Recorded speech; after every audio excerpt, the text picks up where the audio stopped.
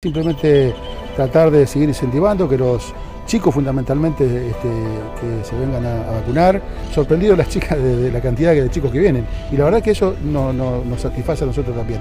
Porque es la franca etaria por ahí que no, todavía no ha accedido a vacunarse. Pero es importantísimo para lo que viene, porque estamos muy esperanzados que, esta pandemia termine, ya tenemos que hablar de la pospandemia, qué vamos a hacer, hay que reactivar la, economía. Puntualmente hoy lo que estamos viendo más que por lo que viene la gente es vacunación, también realizamos otras actividades, hacemos también vacunación calendario para completar esquemas, pediátricos, adultos también, gripe, neumonía. También estamos con atención médica, tenemos dos médicos generalistas y también estamos realizando hisopados nasofaringios, tanto para personas con sintomatología como no de COVID. Muy agradecidos al, Ministerio de Transporte, a Trenes Argentinos y a Salud de, la provincia. Eh, es muy importante la llegada de este tipo de apoyo.